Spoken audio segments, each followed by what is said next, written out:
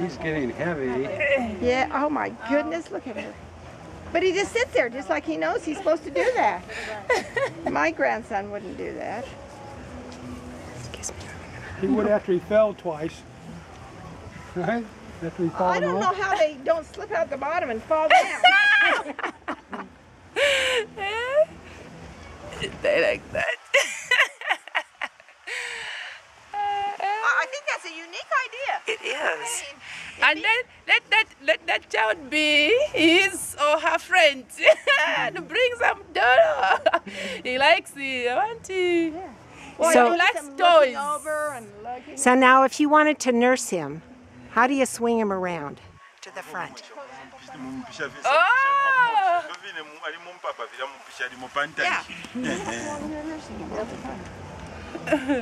are you doing? He doesn't have to show us really. Oh, she doesn't have to show it. Yeah. Okay. That's like Okay, just like that. Okay.